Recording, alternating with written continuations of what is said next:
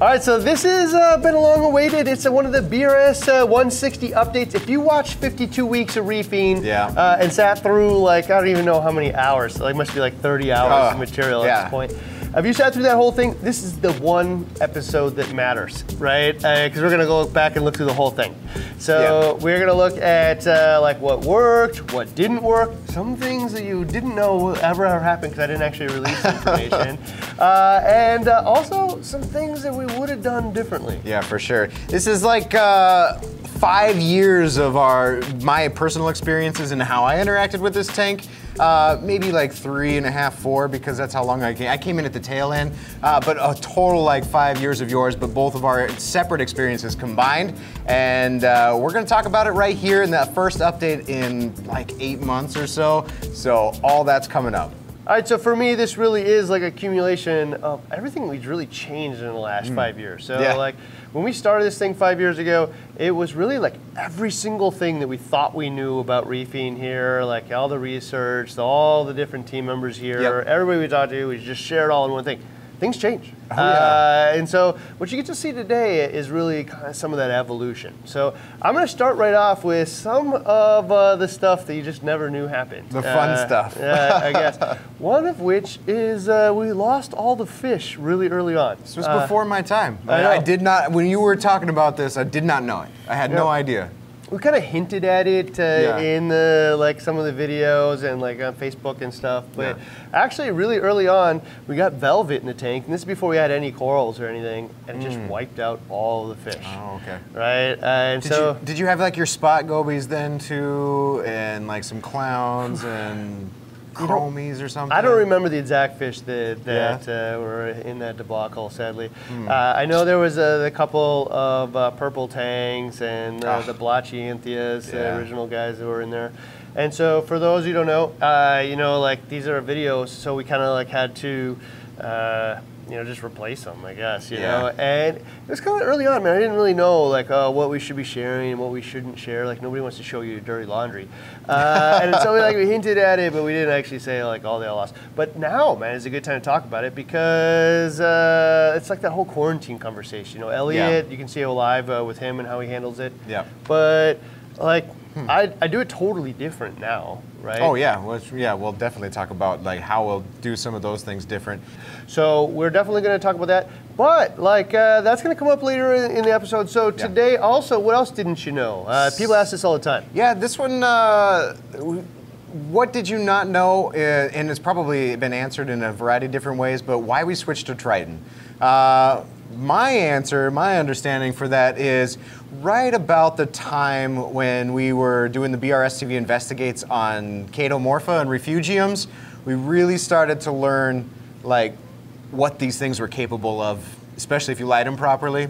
And then that was right around the exact same time like Triton was coming out and it was this method around the primary means of filtration was a refugium. We saw how effective a refugium could be and uh, just kind of came together and was uh, it was like, oh, that's an interesting concept. Like uh, we see that this thing can outperform uh, a lot of other filters out there, uh, a combination of filters. It's natural, and now there's a whole method behind it that do- addresses trace elements and major elements and minor elements and filtration all at once. Like maybe we should try this out for the community and see if we can do it on this tank. Yeah, absolutely. So really, what you got to see there, if you asked a real answer as to why we switched to Triton, is because I personally got really excited about it. I just one day, man, I saw all the puzzle pieces connect. Yeah. You know, and I'm like, well, if we're not removing, uh, if, if there's no nitrate and phosphate in the tank because the refugium's working well. You've replaced all of the major, minor, and trace elements, Yeah. uh, and I know it because the ICP it tells me so. It's not just I don't have to trust anybody. What is that water change doing? What is that water change doing? Yeah, I, I like I don't know, man. It was just like I have to find out, Mm. and I have to let you guys know too, right? And so you can watch, you know, how that transformed, and you're gonna hear a little bit more about that transformation Yeah. as well later. But like that is really the heart of why we changed over, you know, is because in the middle of like. This is so cool. I need to know more about it, and I want to share it with the universe. So that was a big thing. Well, it's things like that that pass that uh, that smell test for the community. Like, if it seems plausible, it, it should be it should be right. Uh, and that was one of those like no water changes because of you know uh, nitrates, phosphates, and minor trace elements, like you said, then yeah, this should be plausible. Let's try it out. All right, so this is the big thing here too. Now, stuff you never knew. You never heard like a super straight, direct answer about. You're gonna hear it right now. Okay. All right. So which one did you like best? Is Oh, something yeah. get asked all the time.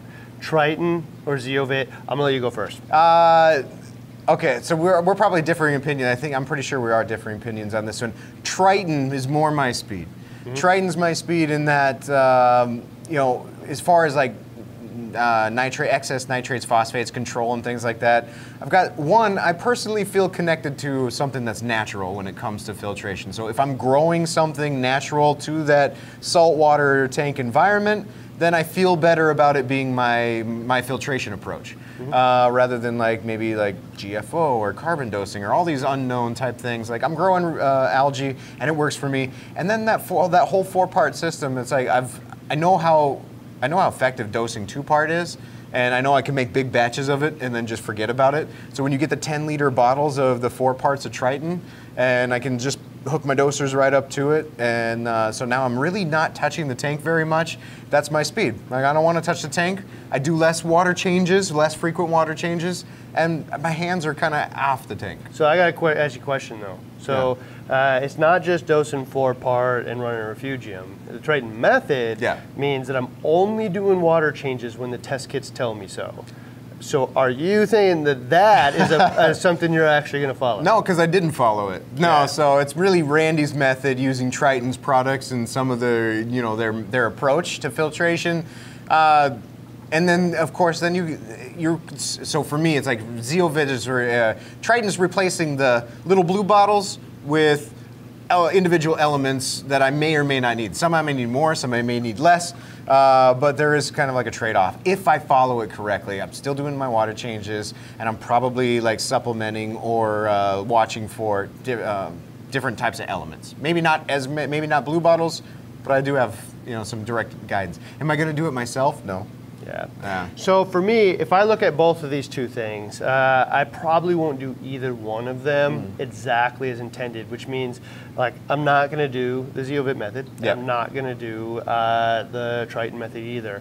And A, the water change thing just didn't work for me. Something uh, we'll share later again in, in more detail. Mm. Uh, but the Zeovit thing, we actually ran a refugium with the Zeovit, so we kind of Yeah. deviated from the beginning. So Yeah. uh, you could decide how much that really mattered in the whole mix. But for me, I will just say that I saw the best results using the Zeovit method uh, between the two. Uh, they were both really good, but this is why. Is because if I was following the method, uh, the Triton, the four part absolutely really worked. The mm-hmm. refugium mm-hmm. really worked. Yep. What didn't work for me was only doing water changes when the thing told me because we didn't send them out often enough. And when we did get it back, we're just busy. And so, like, I don't mm-hmm. know, the tank looks good, so I don't do it, and then things die. So I saw more mortalities because I wasn't listening to the report or sending it in than if I was just doing the system, the 10% water changes and stuff that came with the Zeovit. I just saw more mortalities running the, the uh, Triton system than the Zeovit. And for me, the Zeovit too, like some people will tell you like they don't really like, uh, you know, monkeying around with the tank every day. Yeah.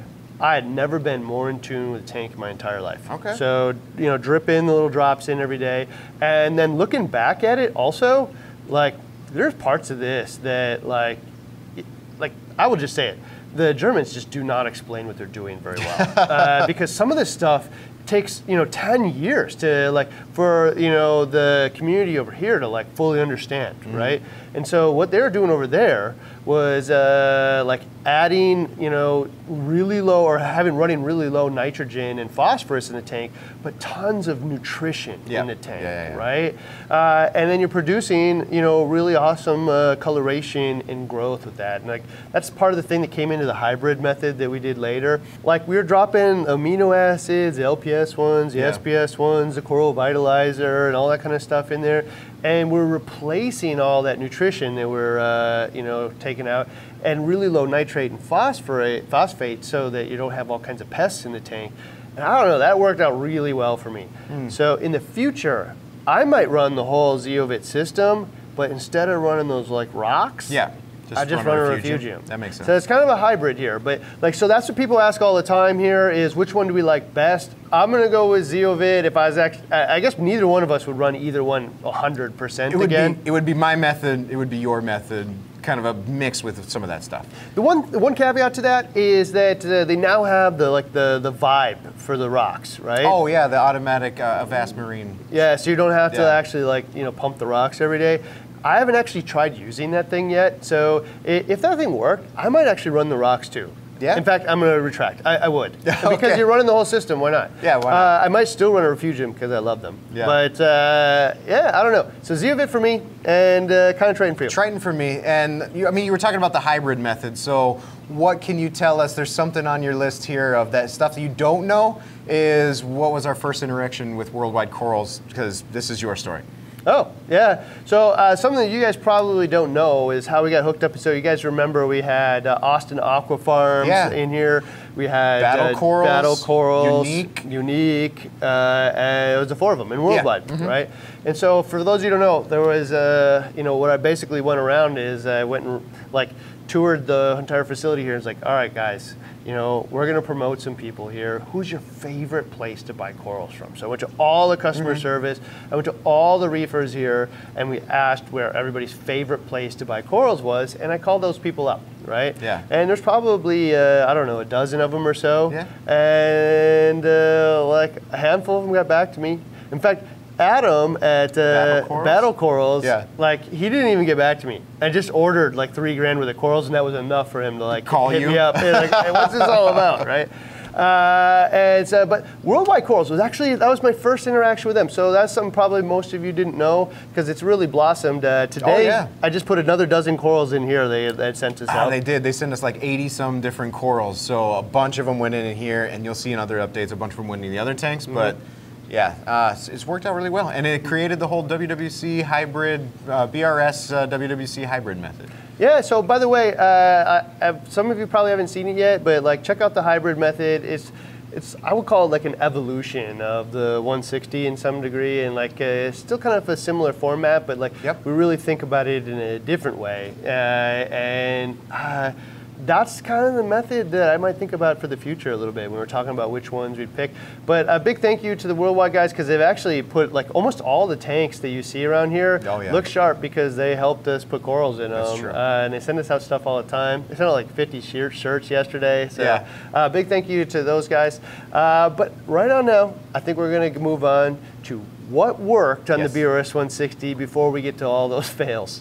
First thing was uh, heavy feeding with lower nutrients. So I mean, this is uh, it's because the refugium works so well. So we had the refugium running. We had the H1200, big giant light, you know, heavy duty. Only running it at five percent because otherwise it would just it was the the beam of the sun straight on this algae on this uh, refugium. But we started to find that it was working too well. Undetectable nitrates, nearly undetectable phosphates, and no matter how much food we shoved down this tank's gullet, it just would not raise up. So we ended up cutting it to like three days a week Monday, Wednesday, Friday. And oh, I think like maybe uh, 10 hours or so. It was at 12 and then 10, and I think we're right around there for three days a week. Uh, but that coupled with a whole bunch of food going in here, so different types of food too. Uh, uh, particulate food for the corals, bigger food for the fish. So basically, we're making the fish produce more waste, and there's more free floating food. Corals start to and color up. Yeah, so uh, that, that's it, man. Is heavy in, heavy out, Yeah. and so filtration has gotten so good these days. Refugiums work, the roller mat was working, like everything was working. So uh, you can dump food in the top, right? Uh, which means that I can feed, you know, more than just nitrogen and phosphorus to the corals, which Right. is like that's only like one component of the whole mix, Yeah, right? proteins and aminos and yeah. Yeah, absolutely. So uh, later on, again, WWC hybrid method uh, is uh, shows that up in, in that one, heavy in, heavy out, Mm-hmm. uh, and thinking about coral nutrition, not nutrients. Right. Uh, so that worked out really well. Another one that worked out uh, on this one is lighting, man. I think no matter how many times we've touched this, and we barely have, The it's been T5 LED combo from the get-go, Mm-hmm. and we've swapped out from Kessils to Kessils back to new Kessils. I think that it went AP 700s, Yeah. then the 360s Yeah. to the 360Xs. Yeah. Okay, so but the meantime, the whole time it's gonna it's been uh, T5s in there, uh, AP, uh, the ATI Blue Plus bulbs, and I will tell you, at no point was lighting ever our problem. No, I don't think And it was so. so the Kessils are so easy, like you're not flipping all these switches and stuff. And Yeah. it looks good. The balance of the two, the shimmers right uh, once you mute it with uh, uh, the T5s. This has just been like the no-brainer one. Like you don't spend Worked. a ton of time trying to get it right each time. And just for a reference point, the reason that we switched between those three ones is the AP700s were doing just fine. Yeah. Except for the wireless link between them Yeah, was we- really wonky. We, yeah, we had three of them, so trying to connect them and digging your fingers up under there and trying Yeah. to get the Wi-Fi to connect, and it was just it was tough. and trying to get it set for you guys so we could video it That's was the the, biggest, thing, yeah. right? And so we just there was no reason to change other than for video, man, it was a giant pain in the butt. And we got like eight million Wi-Fi devices here Yep. uh, at the facility, so we switched over to the 360s, uh, and I was just fine with that. The only reason we changed is because they came out with something new, and why not? Uh, the True. 360s were doing just fine, and you can you can see it in the results. Yeah. But uh, yeah, I don't know, And Lighting uh, worked, Mm. man. Is actually the primary light being the T5s, and then the LEDs are really just there to fill it in. You know, nice blanket of light. It's muted. The shimmer's Mm. nice. Color's nice. I mean, especially with this dip the tank. So you know, for some people, like four T5 bulbs on this size of tank and SPS probably wouldn't be their primary. I don't know, but so, I mean, you're talking like all the way down here towards the bottom. We're getting plenty of light down there for some of those acros to grow. So for that to be four T5 bulbs plus five Kessils and set it and never touch it again. easy. Uh, another thing that really worked: sharing the journey.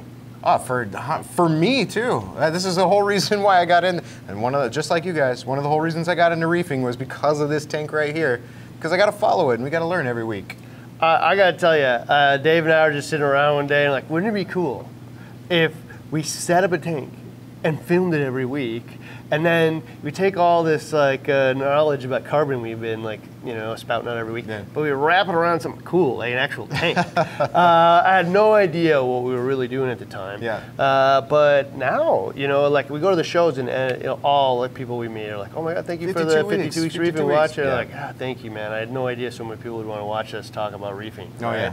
Uh, and uh, but really though, like if you watch that thing, like somehow suffer through it from beginning to end, the whole thing, uh, me rep, just talking to you, uh, you know what? Like there's so much knowledge There's in there. There's so much knowledge. And then it's on a journey. You get to see the whole thing, and more importantly, you get to see the failures, the wins, the losses, and uh, like you know. Tie real results to uh, a real journey, man. So that was a big win for this one for me. Yeah, and I think the most valuable episode will probably be this fail. You know, at the end of this one is like, or it, it, what actually didn't work with the 160. That'll be the most valuable to me. I might even start there and then come back and watch the whole thing. Yeah, But- uh, really, man. The fails are the like where it went wrong because we thought out those things, man, really hard. Yeah. You know, uh, we really, really try to take every bit of knowledge we had, man, uh, and uh, share it to the best of our ability.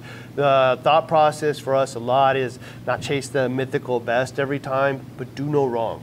Yeah. Do no harm. If you did it this way, you would be successful. Hmm. And in the end, I think that's true. But we just actually found some ways that you can be even more successful, right? Yeah. Uh, the game just evolved in five years. Oh, I, I think that some of the information in some of those episodes we've maybe changed our minds on, or tweaked a little bit, or, or learned more about. Uh, yeah, man. Uh, I think another one, man, it was you already touched this uh, a lot, but the Fuge was a success. Oh right? yeah, it's totally worked. So, uh, I think uh, there was there was some talk about like, should you run skimmer and Fu- or uh, skimmer and fuge? Should you run Zeovit and fuge? Should you? I mean, these questions pop up all the time, and I don't. Uh, when I first got here, you had we had the fuge, and we had got this light, this horticulture light, and it was the H1, like the H350, not the 380, the 350. It was a white body one, Oh, and yeah. it was uh, one. I think it was like one color. It was like grow. It was like purple, uh, but that thing was on there, and it was growing Chaeto like like crazy. That's, the chamber was a lot smaller since you cut it out, uh, but or since before you cut it out. Uh, but it was working right alongside of the Zeovit, and I don't know if we really pushed that too too heavily. There was an episode where you did the refugium, but even I, we still get comments to the, you know years later afterwards when people see the MarinePure blocks and the filter socks and stuff in those chambers you know a lot of people were under the impression that that's what we stuck with when some of that but there were so Mm-hmm. many things swapping in and out of there the last one that we settled on was the refugium Yeah, so for those of you who don't know, I mean, some of you probably haven't been around reefing for more than five years, so like refugiums are like now the thing. Yeah. Uh, they were kind of a thing, you know, prior to that too. I mean, there's like, like far from the first refugium in the universe. Oh, yeah. Uh, uh, like people used them, but the thought process back then, and the, if you looked around the forums and everything, and the information that was being shared. Uh, for the most part, it was they need to be super mega, Oh, yeah. like they need to be 50% of the size of your tank. They need to like for them to work. They need to like have all this crazy stuff, and it would makes sense. Yeah, well, I guess it makes sense if you're using you know a five dollar cfl bulb that's a piece that like once you see it in action and you like do the math and somebody says some of the stuff out loud, you're like, oh, I can't unknow that now, right? And so when we did a bunch of the BRS-TV experiments uh, on the refugiums, we found like I kind of expected to see that you would like reduce the nutrient load by like 25%, Yeah. which would mean maybe 25% less water changes. I'll throw some algae in the trash and do 25% water changes Mm-hmm. less for sure. But what we found was it took it all out. it was gone Right? Yeah. yeah, like- NPH was up and Right. yeah especially when we used a proper light and then like Hmm. w- this is the part where once you hear it like of course right we were all using a five dollar bulb you know from home depot like that's designed to grow a plant or whatnot. Yeah. uh, to try to outcompete like the thousands of dollars of lights in the display that was never going to happen and in spectrums that the a, a lot of the spectrum from that CFL bulb the plant doesn't even use anyway. that doesn't use. Yeah. Yeah, and so now we use a, a lamp that is uh, as high power as the one that's in the front. Mm-hmm. Uh, lo and behold, it works. Like, of course it does. And also, like, if I have one this big, uh, I can make it actually one quarter of that size if I increase the rate of photosynthesis four times Yeah. uh, by using a higher power light. Yeah. They're like, oh, well, of course, right? uh, and so refugiums, man, was big. And Yeah. Like we put it on this one, and now you see refugiums on like everything. Oh, right? yeah. Like you get the data out into the universe, and then you can like you know make informed decisions on how big you want it, how big you need it to be, and how you plan on lighting it. And if it is uh, working or it isn't working as well as you want, like, well, Hmm. I can buy a nicer light, or I can tune it down if I need to. I can run it. Like in this case, it was working too well. That was one of the things, uh, and uh, we actually changed it uh, to like every other day for a while. Yeah. You know, off of that. But yeah, Refugium was a big one. Uh, also, uh, the uh, fourth take on electrical This- was a, a win. So, I mean, the, the intentions were good behind the first few episodes where uh, you had to start somewhere. I mean, you had to get water in there, you had to get a pump plugged in, so you had power strips like most people or some people would start. I started with power strips, regular old power strips. So let me move one second here. Yeah. So the fourth take in electrical, just for uh, get you guys all up to speed, Oh. means that uh, like we did some episodes on how to do electrical safely, and they were great. Uh, but there's been like a handful of revisions since then, uh, and you can see Oh. it if you watch real close. Uh, but I'm sure uh, Dave will overlay some stuff here where you can see where it's actually at now. Uh, Looks but very yeah, that's what I was at. So fourth take on this, man, actually uh, worked out in the end. It makes sense too because at the same time we were trying to you were you know building this tank and teaching people about it. You had to okay now we're going to put a controller in, so I got to redo everything, and now we're going to add in these this equipment, so we got to redo everything, and it ended up being like this mass, just nasty wire of cord cords, massive cords coming through the wall, uh, all the way down below beside the tank. There was all intentions of mounting a whole bunch of stuff on these really nice boards, but they were leaned up against the wall with cords shoved underneath of them, and everything on the front was displayed nice. And if there's one thing that like Terrence that you that you said you took away from Terrence, I take away from Terrence too, is you know if it looks clean, then it's you know then it is clean and like it's well kept. If it looks well kept, then it's you know it's clean. It's a well, I forget I'm butchering it. Clean is synonymous with safe. There you go. Clean is synonymous with safe. And in which case, I, I would be willing to bet that before it, it looks like what it do- does now, there was parts in there that were not safe. for sure. For sure. Uh, so yeah, that was the big thing, man. Is like we spent all those episodes getting them perfect, and it was actually really nice the day that we installed it. Oh, yeah. right? But like we were changing stuff all the time, man, and uh, I was maintaining pumps and taking them out and putting them in, and like our solution did not. It was only going to work the day that we did it. Yep. Right. And now the doors like swing open, and Oh, yeah. it allows for you to like remove stuff. We're using Velcro strips that are uh, easy nice. to take off Mhm. rather than uh, just uh, you know plastic strips or zip ties or whatnot. and much safer. Yeah, so one of the things I'm going to share with you guys when I'm doing my build at my house, uh, which will get jump started pretty soon again, uh, is I'll share how to actually do this right the first time, uh, so that when you put effort in, you get to reuse that effort, uh, because like. It worked now, but like I guess I could put three. Uh, the four try worked. The three, third, first three uh, did not work. So you really got to think when I, as soon as I put this in here, this actually needs to be removed someday. How am I going to do that? Right. Right. And so if you get that in there, uh, that's it. Uh, next is the return pumps. Yeah, we Work. we've had two two types of return pumps on this. There was the Vectra and now the Abyzz. Uh, so the the uh, the Vectra worked really well. It was brand new pump. It was, it was controllable. It was DC. It's controllable. It was Quiet. blue. It was quiet. I mean, it was blue. It kind of matched our form and function back there, which was really cool. Uh, but it, it put out enough. We've got a manifold back there, so it puts out enough flow to if we wanted to use the manifold for. We had the recirculating skimmer, so we had to feed that. There was, you know. Uh, reactor inputs on there, the UV sterilizer on there, the two uh, two different returns. Uh, and the Vectra M1 worked. Recently, the conversation has uh, has evolved again, thanks to Terrence, because of the redundancy of uh, a dual return pump, which we didn't know before when we were making the plumbing. When you were like mapping this thing out, it wasn't a, something that we wrapped our brain like aha I had an aha moment. So it was The one moment he said it. yeah, it was, so there was a one pump for dual manifold. Well, It's like the heart, right? There's like one thing that's circulating the water Yeah. through your display, through all of your filtration.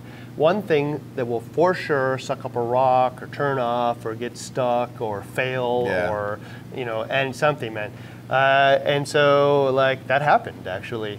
Uh, and, you know, they just wear out. Oh, yeah. Right? And so, like, two. Now, you know, like if you put two pumps in there, now like at any given time, one of these could fail Yeah. and the other one would still be going. Right? Well, Plug them into different circuits, so Yeah, like. GFCI can't uh, fail. It just for the cost of it versus if you're installing it brand new from the beginning, like Yeah. because I, I mean, if you're probably sitting there saying, "Well, I don't want to go do that," we didn't either. You know, we didn't want to recut apart our plumbing uh, either, Yeah. right? So when it came time to do a pump, what what did we do? that was where the Abyzz, because they had like the 10 year warranty, these things are, you know, German manufactured, they're well made, they're known to last, just well built. We haven't cleaned this one. I don't think we've taken it off, and uh, I don't think Josh has taken it off and cleaned it. But that was one of the things that Sean for- said too. We uh, did a tour recently Yeah. like a 22 foot long tank, uh, and he had all those abyzzes, and he's like, "Dude, I They're, never clean these." they're they so always work." reliable. It's Right. redundant in its uh, in its own. It's the best you can redundancy you can get for a single pump. So for a single pump, uh, I will say the Abyzz actually worked. And is it expensive? For sure. uh, uh, you know, it is definitely not a, a cheap, cheap thing. Yeah. But like what we got going on here is not cheap either, and it's all relying on that one failure point. Uh, and so, like you know, it, maybe it's not. We didn't even buy it the first time. You know, it was uh, uh, the Vectra we did the first time. Yeah. But when I realized I couldn't have two return pumps, or I was going to have to cut everything apart to do it, like you know what? I'm just going to buy the best available pump that I can get, and that will be you know the best level of insurance again. Uh, you know now I can get warnings. At the time I didn't have this, but Yeah. uh, the Apex now has warnings. So if the, it's not drawing power or whatnot, it'll actually tell me or too much power or whatever. So uh, now I have a variety of different things. We still only have one pump back here. I'll never set up another system that way, but this one is still running on one pump. Yeah. So I think the the next one that we uh, that is working or has worked for the BRS 160 evolved out of me when I was in charge of the 160 not doing the water changes Triton told me to do. In which case, uh, if I don't have the 30 minutes or so to do a water change, we'll do it auto water change. Boom, button. there you go. I can program it to do it uh, continuous all day, every day, or I can push a button and do a water change. But now I don't have to be back here hauling hoses and all this. I can push a button and go back to writing scripts. This was a nice thing, man. Uh, uh, sometimes I really appreciate being able to talk to a couple of people at the top of different areas. Like, I hit up Terrence and Kurt, and I'm like, dude, like you have this great auto water change system, but there's so many people doing Triton now. Like, they don't want it going all the time. Hmm. Well, like, is there a way for you to just set it up so I can just go and push a button and we'll do a 30 to- gallon water change or whatever I say? And he's like, well, not now, but there will be. Yeah. And in a matter of weeks, man, they had like released a new firmware. So for Triton users out there, like who want to listen to the report but don't really have the time, Yeah, that's true. walk up and hit the button. Yeah. Right? Uh, and eventually, you know, we just decided, you know what's even easier than that? Just doing them anyway. You know, Yeah, just keep- just- like we have huge bats of water around here. Just keep a constant 10%. Uh, or I think it's like three it's percent. like 3% a day. Yeah, it works out to be like, you know, 10, 15% a, a week or something. I don't know. Yeah, but, But- if three percent a day just happens all the time, I don't have to send out the reports. I don't have to push the button. It just happens, and, and, like it- it's just uh, actually easier in the end. But uh, auto water changes, man, that has been like a systemic win. Uh, it goes around It's- to all the tanks It's in, here. it- it's in the 750, your, your ULM tanks, all the tanks back in the lab with ongoing experiments. If it needs a water change in that experiment, it's hooked to auto water change. It's, it's, uh, it takes so much time off of so many people. I'd call it the ultimate stabilizer, man. Like, there's so many things that can go wrong with your tank. Chemistry can get off, contaminants from your hands, lotion, motor oil, who knows, man. Like, somebody could have sprayed Lysol near the tank or whatever. Uh, and, like, one little bit of Lysol, you know, maybe not enough to actually harm anything. But, like, maybe somebody's been doing it, like, every week for the last Yeah. uh, six months. You never know. But maybe that never catches up because I'm taking 3% out every day. So all those unknowns that are happening, man, are actually not building up anymore. And it's just the ultimate correction factor. So mm. if you can do it, the auto water change thing, man, just totally changed the game for me. It also makes sure that I do them in the winter, I do them in the summer, I do it like when work is hard, I do them mm. when work is easy, I do it like all the time because it's just, I just, all you gotta do is like once a month go dump a bucket of salt in the thing, mix it up, and we'll go Yep. on about your day. Yeah. You know, it's super, super easy now. So auto water change, like uh, this was probably the biggest win uh, from a personal lesson for me. And a lot of people think I can't do it or whatnot, but Oh. you can run the tubes through the ceiling. You can run them along the floor in a like a little you know cord hider. You can run them outside and then back inside. You can go through the far, basement and back up. Uh, some of ours are going 50 feet, like 20 feet up and 50 feet over. Yeah. You know, so. Uh, So in the lab, they're going all around the whole room, man. Yeah. Like, it's, it's just huge. It's awesome. Yeah, so auto water changes is a big, big, big one. Yeah, Uh, for sure. Another one. Uh, the other one is uh, pegging the calcium reactor concentration. So probably uh, this is something we wanted one. to test for a long time. Uh, so we ended up testing it. Like, do uh, if you peg the pH, uh, can you then just adjust the flow of how fast you're dosing that concentrated solution and turn a calcium reactor into something super complicated for a lot of people to not complicated at all. I set a pH and I just ad- adjust a dial up or down. Yeah, so for a lot of you out there, like have contemplated a uh, calcium reactor, I gotta tell you, like they look really confusing. All the information how to run is kind of like tribal knowledge and from like individuals. Like there wasn't like a real collective way in how to do it, and it was like universally shared. I will just tell you that here. Uh, we found a way that works really easy, uh, and uh, I don't know, man. This is the way I would do it every time. So uh, all you do is peg the pH inside the reactor using a controller, Yep. right? And so if it's uh, 6.5, you know the concentration, the DKH is like 40, Yeah. and now it's just a one-part machine, right? Doses calcium and alkalinity. And just how much I dose, and you can use a, a continuous duty dosing pump if, if you want. Mm-hmm. Uh, uh, the been the big one. I think the one from uh, Ecotech that's Yeah, coming out here will probably be a really popular Yeah. option. You can also just use a valve too if you want, as long as you're willing to like kind of check it and make sure that it's actually you know doing the right dosage or whatnot. But like now the concentration, if you can just think about this is uh, I'm gonna peg the concentration at 6.7, it's 25 DKH, it's at uh, 6.5, it's 40, and you have to go to one of his videos to see where it actually landed, but it doesn't actually matter because you can just peg the concentration and then go on your specific tank, find out if it's going up or down. If the levels are dropping, just like two part, all you do is tell it to dose like a little bit more every Yeah. day, right? It's just so simple. And so I actually crossed the boundary to the point that in my own tank, I'm almost certain I'm going to use a calcium reactor. It's just so easy, and in fact, I think now easier than managing buckets of two part and you know keeping them clean and stuff like that. So I don't really know. It will definitely be either BRS two part because it's just simple, Yeah. uh, or and like one of the updates you're going to see is the two part uh, ULM or I guess the hybrid method in my office. This has been the most successful tank that we've Mm-hmm. Just seen two-part, forever. yeah. So I'm kind of tempted uh, to emulate that. But the uh, calcium reactor is so easy now. Uh, if all you got to do is peg the pH in there and then figure out how much you're going to dose every day. Oh, yeah. I don't know. And there's calculators even for that now. So uh, I don't know. That was a really big win because I think we just like totally took this really complex thing with all these moving levers, Turned it into a illuminated one lever, and now all it is is how much you dose. Yeah, it's really cool. Yeah. Easy. So that was uh, really, really cool.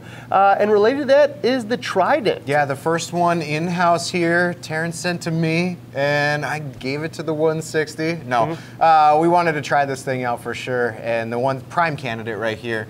We figured out ways that we could use the Trident. One, uh, especially like when you're messing around with different pHs, or you see different pHs, you see different consumption rates and stuff too. But just having my alkalinity, especially uh, this tank is what going on five years old now, and some of the corals in here we would hate to lose. So just having another alert on my phone, uh, specifically when it comes to I can do something immediately about it, like my alkalinity is going skyrocket or it's tumbling or what have you.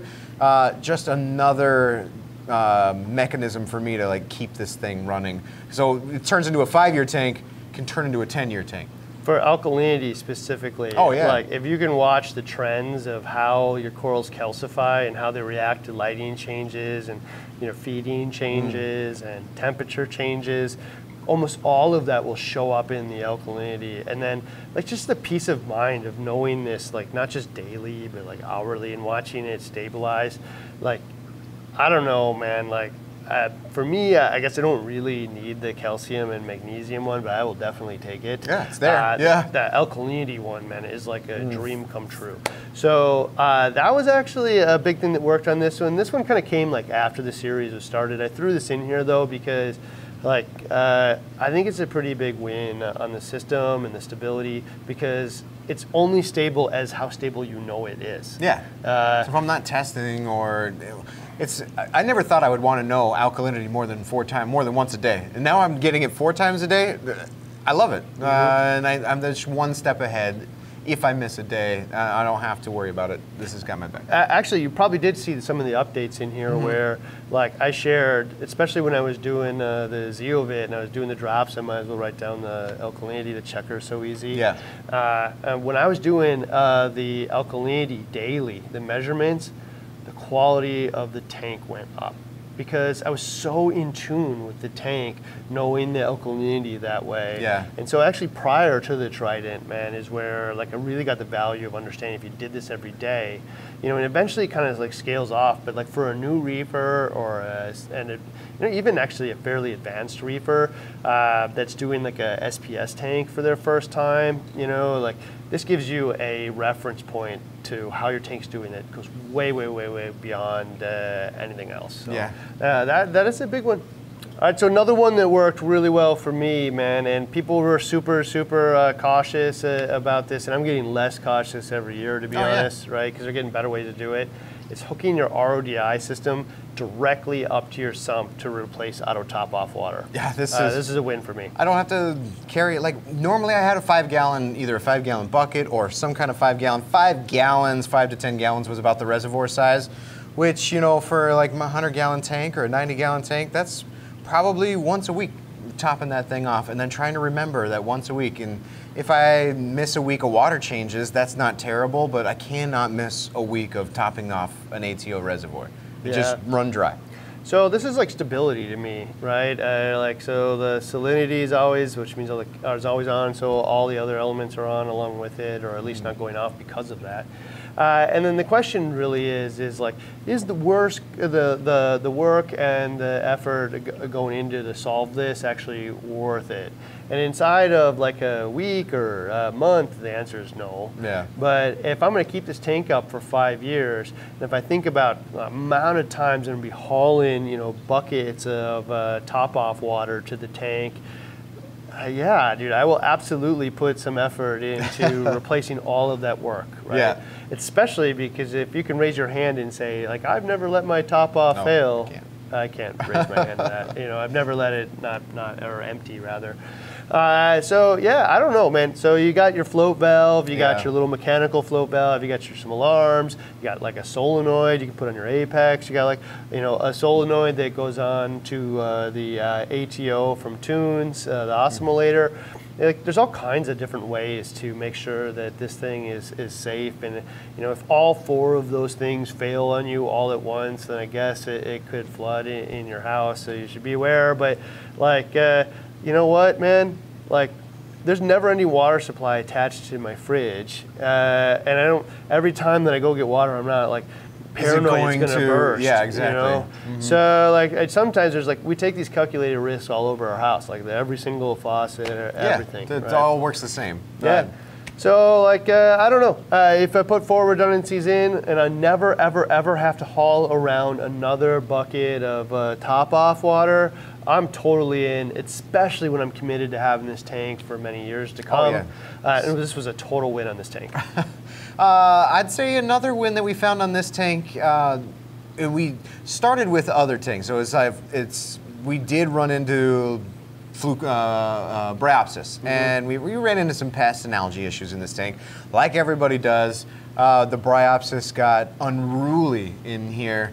Um, and so we tried, you know, the fluconazole treatments. Like uh, we've tried some of the the- Reflux? yeah, the reflux for over the counter or for the hobby stuff. A lot of people works for a lot of people. It worked here. It worked here. Good point. but then we needed a, we, we needed heavier, harder, more you know more heavy dose, uh, heavy duty stuff. So we got we sourced out uh, um, what U, UP, USP grade type. Yeah, really yeah, so I'm, I'll make grade. sure that Dave finds a bottle and posts it uh, in the video. Yeah. I'm not sure exactly what it's called or where we got it again, but uh, by the time this is released, we'll make sure it's up there. Yeah. Uh, but it was like a special fluconazole. It's not dramatically different. It was just something that Josh at WWC recommended to us, and it comes in a bigger bottle, USP grade. And it took our Josh, the ma- maintenance guy. So uh, we ran it. We ran its course as you should. Like you, I think you run it, run it for a week or a couple weeks, uh, and then you do water changes and you get it out. And we did that, and we'd see it die back, but then we'd see it come back again, and we'd see it die back, and we'd see it come back again. So I told, I think we were sitting in our meeting, and he was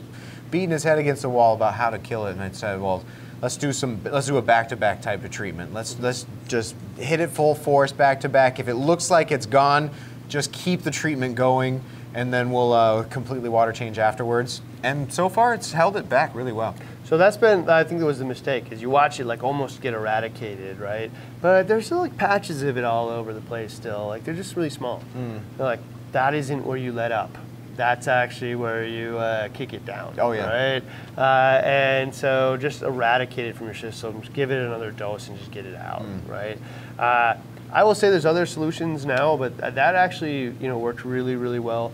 Uh, the one thing I will say is you know people say it has like no impact on their tank. Some people maybe said it does. I don't know, but like I will tell you when we dosed it, we saw alkalinity consumption in the in the tank drop, which means the corals were mad. And that just kind of gets into, you know, the mindset that we can't actually see, Mm. you know, how healthy our corals are. They're not a, you know, you know, kid or a puppy or whatever that can tell you when it's hurt. Right. You know. Right, right. Uh, and so, like, that was actually where the Trident kind of comes in. Is like we can see the actual alkalinity consumption, you know, drop, meaning the levels are actually rising based on the same dose. Mm-hmm. Yeah. Right. So, like, if the re- if the levels are stable with our dose, and all of a sudden they're rising, that means the corals aren't taking as much as they used yeah. to. Right. And so when we dose the fluconazole. I have seen a pretty significant uh, increase in alkalinity, which means uh, it was taking the corals are taking up less. And so it just gets healthy mindset that like nothing is like totally inert. It's just not so toxic that you're adding Drano to the tank and everything's going to die. right? Yeah. it isn't that. But uh, I think this mindset kind of goes like way beyond uh, just fluconazole or anything else. It's like everybody out there says, uh, "I used red slime remover; it was great," and another person says it killed everything. Well, like where were you in that health scale? Because you really don't know. Oh, yeah, you for know, and then sure. like one thing would just like kick it over the edge. It's a know? tipping point, yeah, for sure. So fluconazole was a huge win in here, way better than all the other like silly things we were doing before. Yeah. Uh, you know, magna- magnesium and stuff. I can go on and on about all that stuff. Uh, one of the things that worked on the 160 that increased calcification was uh, working with higher pH, and that came from the CO2 scrubber or CO2 controller type. Uh, with. This is office space. Lots of people breathing in here. Lots of uh, in the weekend the pH we'd see it go up because nobody was here. During the week we'd see the pH drop. Uh, but it really wasn't. In the, it really wasn't until we hooked the scrubber up that we saw like, hey, our our uh, alkalinity dosage for like I think we were on two part back then. Uh, we had to increase it because Yeah. it's not keeping up. Alkalinity is dropping. We're dosing by hand here, right? Yeah. And so we were dosing by hand. This is during a period we're using the alkalinity checker every day, you know, to uh, test alkalinity. And so everybody knows they were supposed to like maintain our tanks at 8.3 or whatnot, right? Like I don't know. I never really felt like it was worth the amount of effort, Chasing it you know, chasing it, because Yeah. like most of the chemicals out there like don't work that way.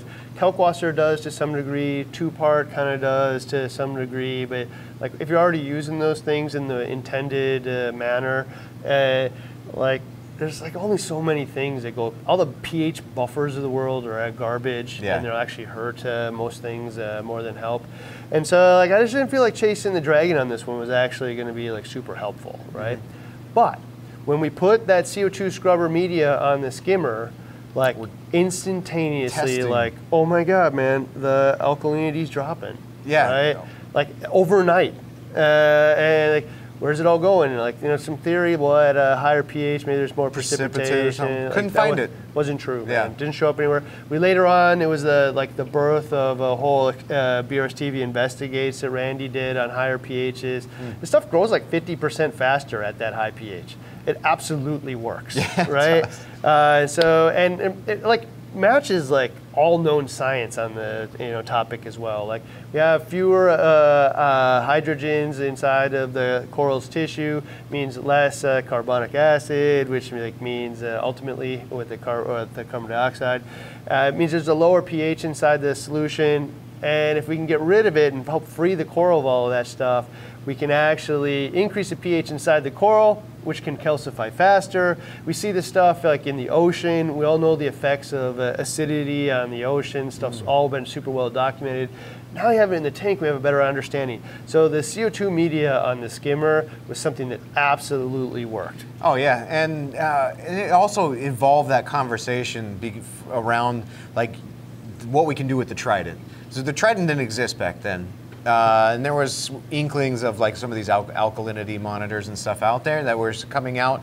But with the fluconazole and with that CO2 stuff, like you were saying, uh, if we're able to monitor, you know, this alkalinity uptake and uh, and you know decrease or increase in that uptake, then we can really start to play with different things like maybe lights or maybe scrubbing CO2 or maybe changing my refugium. There's all these little tweaks that we can do and then watch that alkalinity and see what happens. All right, so one last one, man, that worked before we get to all the stuff that didn't work, uh, or the fails, I would say, uh, is dry rock. Oh, yeah. Okay, so this is a, actually an interesting one for Okay. me because uh, dry rock is absolutely harder to use than uh, wet rock that like came out of the ocean and has been pre-cured and all that kind of stuff. Right? Start from nothing, Yep. basically. But you don't have all the pests on it and stuff. And this was actually a really interesting one for those of you that watched uh, like one of our like recent uh, like the Vibrant and the UV uh, sterilizer Yeah. investigates. We had six tanks. Three of them start with dry rock. They got like hair algae and like common stuff. like Chrysophytes, chrysophytes. yeah. The ones that came out of tanks, they were actually live, man. Like Ulva. just like an explosion of algae in all three of them, and it was you know three dry versus three not uh, or live, and it was the exact same replicas of each other All across the board, Yeah, yeah. like an explosion of algae and all kinds of them, man. And even when one die off, some other crazy one would take its Yeah, place, right? Hair algae, I don't know where that comes out of, like uh, magic uh, hair algae uh, uh, fairy, but like it was such a big, big difference. Like, like I don't want to use that, and that doesn't even think about like all of the coral pests and stuff that could come on it. Yeah, and that the coral pests, any just like aptasia, just unwanted pests and things like that. But uh, you know, when we were looking at the test that we did, the old mature rock, the uh, that we used versus the dry rock, that that type of algae, and it's probably different on who knows. It's a crapshoot maybe on what you'll get on some of that uh, mature rock. But in this case, it was ulva, and ulva is super hard to eradicate. It's like almost. Almost impossible. Uh, so the vibrant worked to some degree on it. There's probably some other things that we, we didn't really test on, but as far as like hair algae versus that algae, if I was going to choose, if I was going to choose, like I had to have one or the other, I could get rid of hair algae, but way Visually faster. too, the rock had nothing on it. Yeah. In both cases. So even the live rock just looked like They live rock, didn't have any algae on it. Could, you would visually. never guess what it would. It was in a dark area of some for like years. Yeah. Right. So uh, that said, I mean, live rock doesn't even really exist anymore, and it Nah. probably won't. You know, so like it's really, really hard to get your hands on actual live rock, uh, like came out of the ocean that way. Hmm. Uh, at, at this point, so it really doesn't matter. You can definitely get like cured rock, Yeah. where you know fish store or whatnot has like you know held it for some amount of months in water, or you know, you know live rock that you had in a different tank, and there's no question no question. Uh, that is an easier rock to start your tank with. You'll be able to get up to speed much, much, much faster with that type of rock than you would with uh, absolutely dry. And by faster, I mean many months, in fact. Oh, right? yeah. But in, in this case, man, I, I gotta tell you, like every single tank that you've seen us ever do has all been dry rock. So like, there's a lot of debate. Like, can you use dry rock? Can you cannot? And I, I think a lot of the failures that happen out there, or challenges anyway, are the ones like if you treat dry rock like you treated uh, wet live rock in the past, the chances that you succeed go way, way, way down. especially in those SPS Kinda gotta know what you're getting into. Yeah, especially in those SPS systems that we found. Like, uh, we use your ULM. We'll talk about this in the ULM update too. But just in a case in point, using the live rock in your ULM, that was it was already you know cured. It was ready to go, and the SPS corals in there are thriving. Uh, if we we've tried SPS corals in dry rock that had went through the cure, and they just struggle. They seem to like have to take a year or a little over a year, maybe even two years before the SPS really starts to find its its groove. Yeah, it's definitely a, a longer path, and you, there's lots of different things you can do to help make that path like easier. Uh, but like just knowing it uh, is part of it. But like, there's no question, man. Like uh, the, we used dry rock here it was like cement, man-made rock. It was painted purple. It looked good from day one. Yeah, day one you could see it in there. It looked fine, uh, and I think actually the epoxy on that rock actually flaked off out over time, which was kind of disappointing. But it just got replaced uh, by coralline Yeah, there's tons of coralline in there. Yeah, and so like I would call that worked. So here's the thing.